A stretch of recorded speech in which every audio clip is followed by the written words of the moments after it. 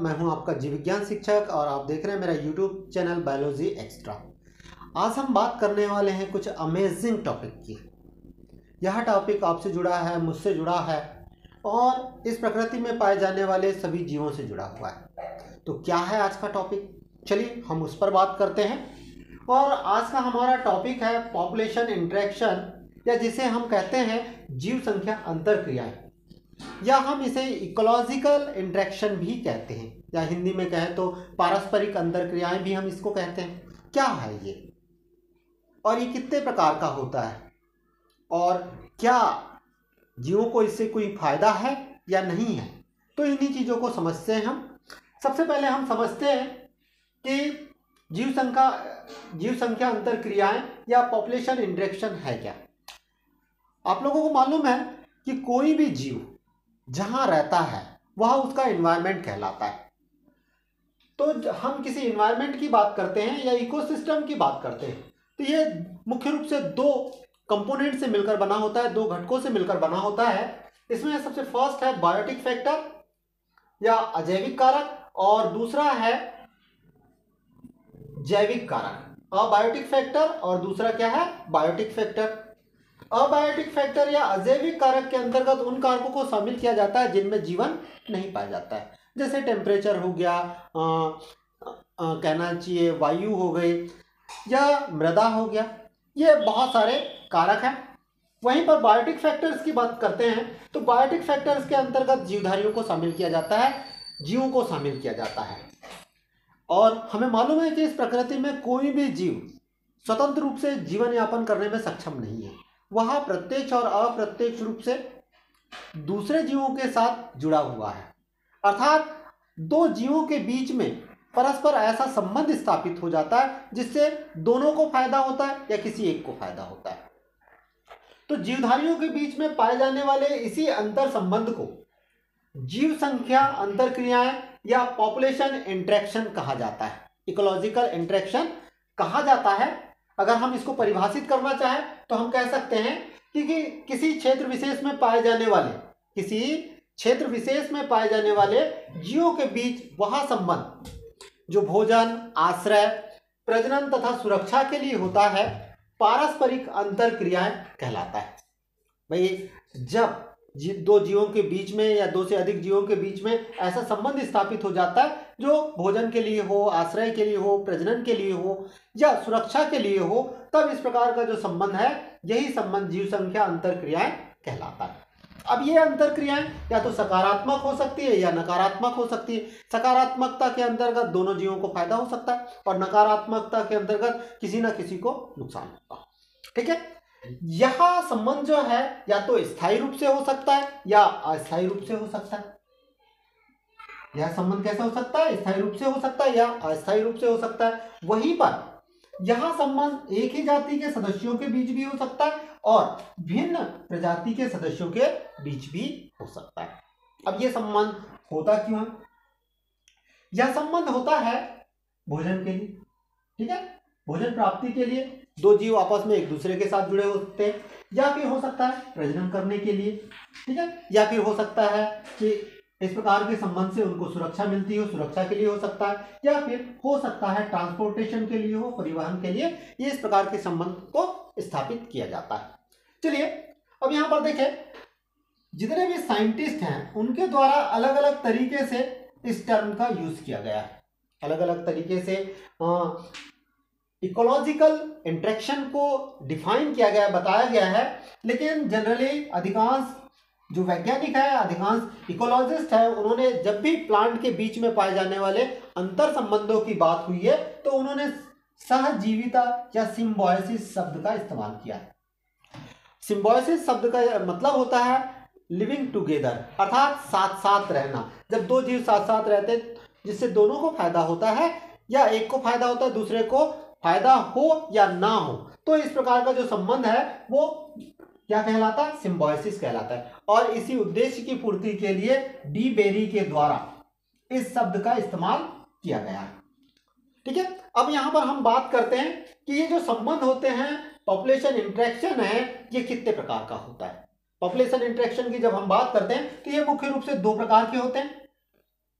Positive interaction और दूसरा है नेगेटिव इंटरेक्शन। सकारात्मक अंतर क्रियाएँ और दूसरा है नकारात्मक अंतर क्रिया चलिए, अब इनको हम थोड़ा सा डिटेल में समझते हैं। हमने जाना कि पॉपुलेशन इंटरेक्शन दो प्रकार के होते हैं पॉजिटिव इंटरेक्शन या बेनिफिशियल इंटरेक्शन और दूसरा है नेगेटिव इंटरेक्शन या नकारात्मक अंतर क्रिया तो दोनों के बीच में क्या अंतर है? सबसे पहले उसको समझ लेते हैं।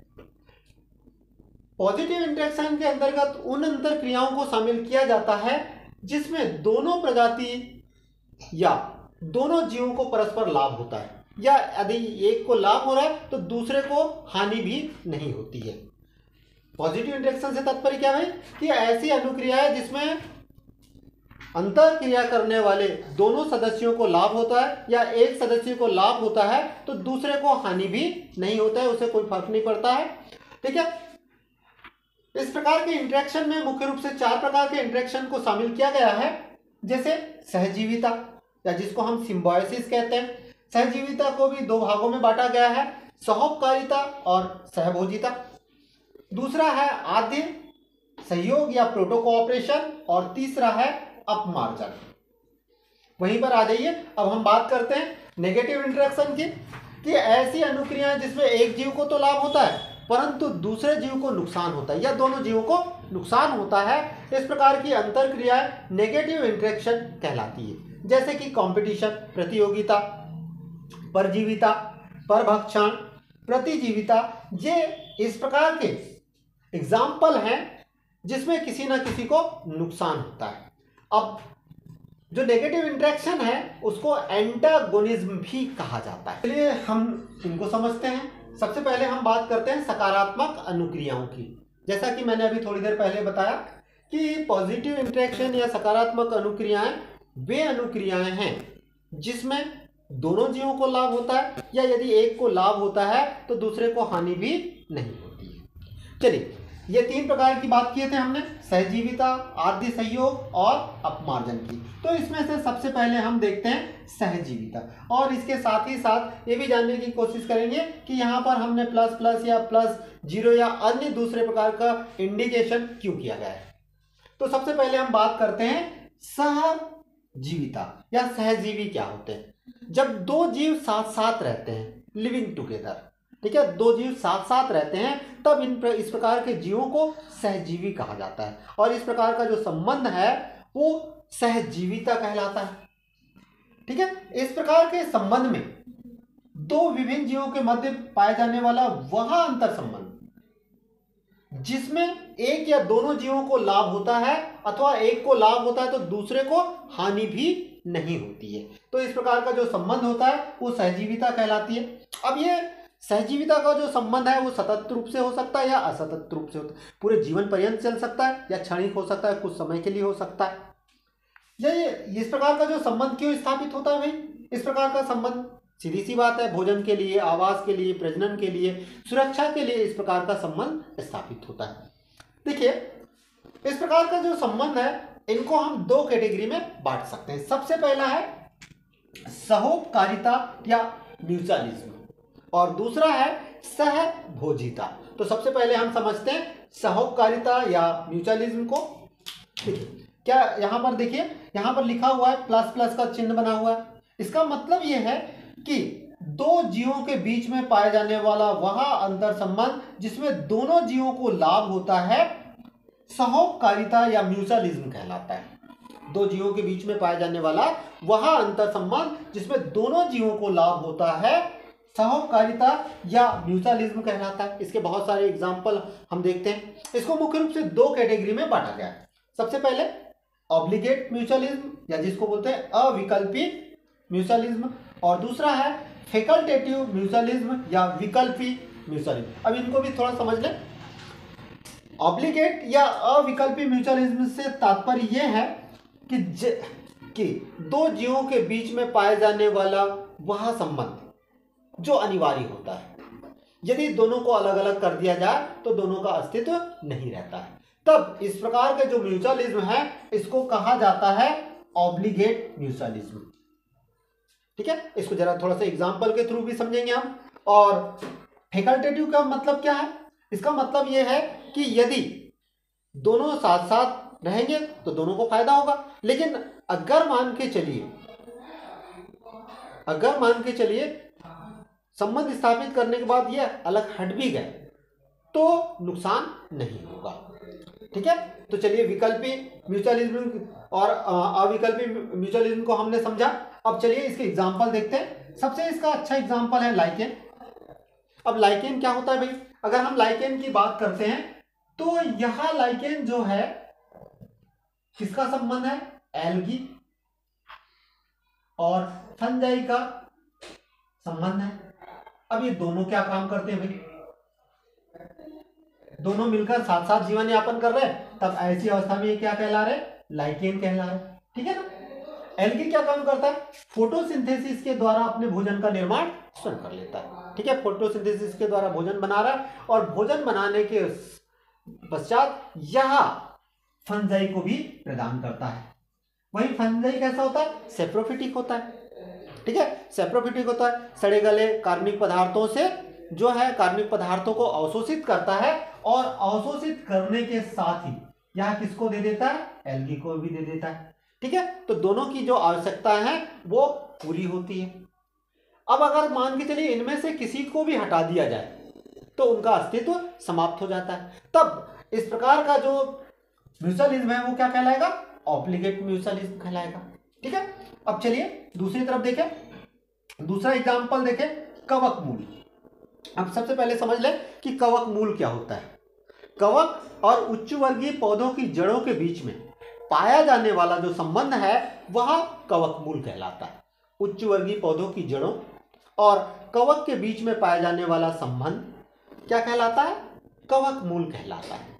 क्या होता है कि जो कवक है, जब जड़ों के अंदर प्रवेश कर लेता है या जड़ों के बाहर संबंध स्थापित करता है तो एक नए प्रकार की संरचना का निर्माण होता है और यही नए प्रकार की जो संरचना होती है, इस संरचना को कवक मूल कहा जाता है। यह मुख्य रूप से तीन प्रकार का होता है। बाह्य कवक मूल, अंत कवक मूल और बाह्य अंत कवक मूल। ठीक है, इस पर हम किसी अन्य वीडियो में और बात करेंगे। तीसरा एग्ज़ाम्पल देखें। लेग्यूमिनेसी कुल के पौधों की जड़ों एवं राइजोबियम की जड़ों राइजोबियम के बीच में पाया जाने वाला संबंध। लेग्यूमिनेसी कुल की अगर हम बात करें तो इसको हम दाल कुल भी कहते हैं है ना? आ, इसमें मुख्य रूप से जैसे चना अरहर सेम मटर ये आ जाते हैं जिनमें लेग्यूम पाया जाता है। फलीदार जिनके फल होते हैं। इनकी जड़ों की अगर हम बात करें तो यहाँ पर छोटी छोटी गांठें पाई जाती है। ठीक है? नोड्यूल्स पाए जाते हैं और इन नोड्यूल्स के अंदर राइजोबियम पाया जाता है। ये राइजोबियम क्या काम करता है? यह राइजोबियम एटमॉस्फियर से में पाए जाने वाले नाइट्रोजन को नाइट्रोजन के यौगिकों में परिवर्तित करता है और इसे पौधे को प्रदान करने का कार्य करता है। तो दोनों के बीच में ये जो संबंध स्थापित हुआ है, ये कैसा? ऑब्लिकेट है। अगर इनमें से किसी को भी हटा दिया जाए तो दोनों को नुकसान होता है। है ना? दोनों का अस्तित्व समाप्त हो जाता है। इसी प्रकार से हाइड्रा एवं क्लोरेला वलगेरिस के बीच में पाया जाने वाला संबंध भी जो है सहोपकारिता का अच्छा एग्ज़ाम्पल है। चलिए, अब दूसरे तरफ़ आते हैं, सहभोजिता की तरफ़। ठीक है? सहभोजिता। अब यहाँ पर देखिए, हमने लिखा है प्लस ज़ीरो दो जीवों के बीच में पाए जाने वाला वह अंतर संबंध जिसमें एक जीव को लाभ होता है, परंतु दूसरे जीव को ना तो लाभ होती है और ना हानि होती है। तब इस प्रकार का जो संबंध है, वह कहलाता है सहभोजिता। ठीक है? सहभोजिता को हम दो भागों में बांट सकते हैं। ये भी या तो सतत हो सकता है या असतत हो सकता है। सतत भी हो सकता है और कैसा हो सकता है? असतत भी हो सकता है। अब जो सतत सहभोजिता है, इसको भी दो भागों में बांटा जा सकता है। इसको हम कह सकते हैं एक्टो कॉमेंसेलिज्म ठीक है? जो कंटिन्यूअस है, उसको हम क्या कह सकते हैं? एक्टो कॉमेंसेलिज्म और इंडो कॉमेंसेलिज्म अब दोनों को थोड़ा समझिए एक्टो कॉमेंसेलिज्म से तात्पर्य क्या है? जब कोई जीव दूसरे जीवों के ऊपर आश्रित रहकर सह संबंध स्थापित करता है, तब इस प्रकार का, इस प्रकार की जो सहभोजिता है, उसको हम बाह्य सहभोजिता या एक्टो कॉमन सेलिज्म कहते हैं। एग्ज़ाम्पल देखें इसके अच्छा सा एग्ज़ाम्पल है एपीफाइट्स और ईपी जोन्स अच्छा एपीफाइट्स क्या होते हैं? एपीफाइट्स से तात्पर्य है, जिसको हिंदी में बोलते हैं उपरोही। ऊपरी रोही है ना? जैसे आपने देखा होगा विभिन्न प्रकार के जो पौधे होते हैं, जो हायर प्लांट होते हैं, आम का पौधा हो गया या महुआ का पौधा हो गया, उसके ऊपर आर्किड्स पाए जाते हैं। ठीक है ना? आर्किड्स पाए जाते हैं। अब दोनों के बीच में संबंध स्थापित है। ठीक है? दोनों के बीच में संबंध स्थापित है। केवल यह संबंध आश्रय स्थल के लिए होता है। ठीक है? बाकी दूसरा कोई उसको फ़ायदा नहीं होता। आर्किड को कोई फ़ायदा नहीं होता। ठीक है? आर्किड क्या, में क्या पाई जाती है? हाइक्रोस्कोपिक जड़ें पाई जाती है। ठीक है? आर्द्रता ग्राही जड़ें पाई जाती है जो वायुमंडल से नमी को अवशोषित कर लेता है। जल की पूर्ति हो जाती है। और साथ में प्रकाश संश्लेषण की क्रिया के द्वारा अपने भोजन का निर्माण स्वयं कर लेता है। ठीक है? ईपीफाइट से तात्पर्य समझ में आया आपको? ईपीफाइट्स का मतलब है जब कोई पौधा दूसरे पौधे के ऊपर आश्रित रहता है, क्लिम्बर की तरह काम करता है। और ईपीजोन्स का तात्पर्य क्या?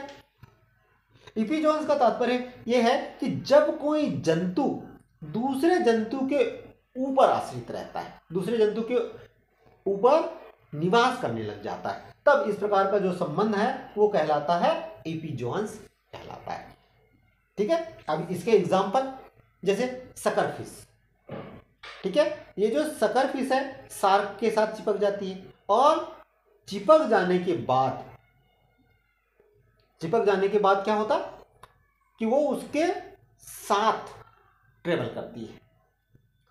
वहीं पर देखें इंडो कॉमन सेलिज्म की बात कर ले थोड़ा सा। इंडो कॉमन सेलिज्म से तात्पर्य है कि ऐसा अंतर संबंध जिसमें कोई जीव दूसरे जीव के शरीर के अंदर रहकर अंतर संबंध स्थापित करता है।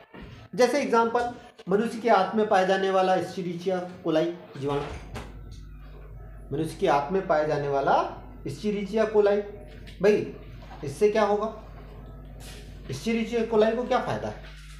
केवल आश्रय मिल रहा है, ठीक है? लेकिन मनुष्य को क्या फ़ायदा है? भाई, उसका जो फ़ूड मटेरियल है, उस फ़ूड मटेरियल डाइजेस्ट करने में ये मदद करते हैं। सहयोग, या जिसे हम प्रोटो कॉपरेशन कहते हैं। अगर आप यहाँ पर ध्यान दें तो हमने दो बार प्लस प्लस लिखा है। अर्थात, दो जीवों के बीच में पाए जाने वाला वह अंतर संबंध जिसमें दोनों जीवों को लाभ होता है। परंतु,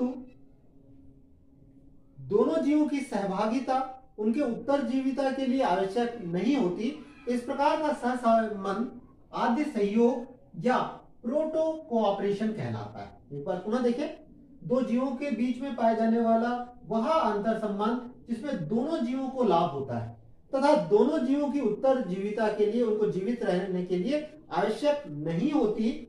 इस प्रकार का सहसंबंध आद्य सहयोग या प्रोटो कोऑपरेशन कहलाता है। अगर इसकी हम बात कर लें, थोड़े से और किस चीज़ की बात कर रहे हैं हम? हम बात कर रहे हैं इसके मुख्य मुख्य पॉइंट्स की। सबसे पहली बात यह है कि यह जीव की उत्तर जीविता के लिए ज़रूरी नहीं होता। यहाँ मुख्यतः कैसा होता? है यह संबंध पूर्णतः वैकल्पिक होता है।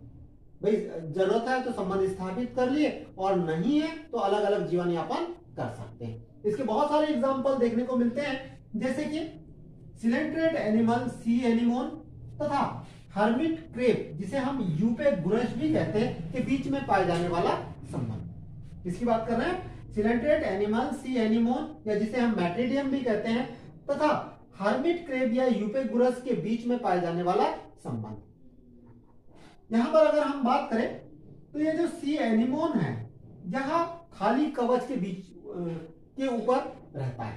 ठीक है? सी एनिमोन क्या काम करता है? खाली कवच के ऊपर निवास करता है, ऊपर में रहता है, जबकि कवच के अंदर की ओर जो है, वो हर्मिट क्रेब रहता है। ठीक है हर्मिट क्रेब रहता है। अब दोनों को फ़ायदा क्या होता है भाई? दोनों को फ़ायदा ये होता है कर रहा है। सी एनिमोन जो है, वह इस हर्मिट क्रेप को सुरक्षा प्रदान करता है। पुनः हर्मिट क्रेप क्या काम कर रहा है हर्मिट क्रेप दो काम कर रहा है। एक तो पोषण प्रदान करने का काम कर रहा है, ठीक है? दूसरी, दूसरा काम सी एनिमोन को फ्री ट्रेवलिंग कराता है। ठीक है? क्या काम करा रहा है? फ्री ट्रेवलिंग करा रहा है। चलिए, दूसरे दूसरे संबंध को देखें।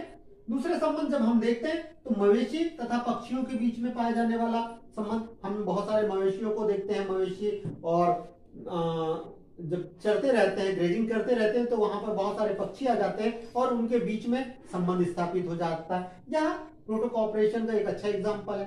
भाई जब ज़रूरत है तो संबंध स्थापित कर लिए नहीं है तो अलग अलग जीवन यापन कर रहे हैं। वही बात देखिए टिक बर्ड और गेंडे के बीच में पाया जाने वाला संबंध।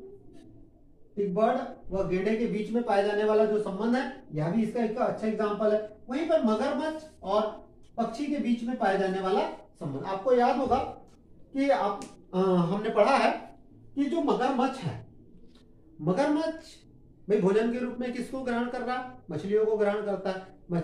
या छोटे बड़े जो एनिमल्स होते हैं उनको ग्रहण करता है। और जब ये उनको ग्रहण करता है तो पानी में पाए जाने वाला जो कीचड़ है, इसके मुँह में चले जाता है, उसके दांतों में फंस जाता है।